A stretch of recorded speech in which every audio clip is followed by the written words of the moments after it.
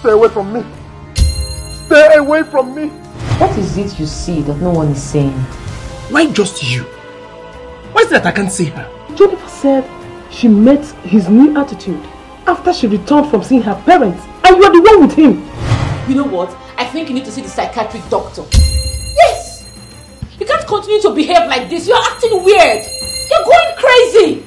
See, this girl is all over me. Alright? She's following me everywhere. I think it's high time I walked out of this marriage before you use me for something I don't know.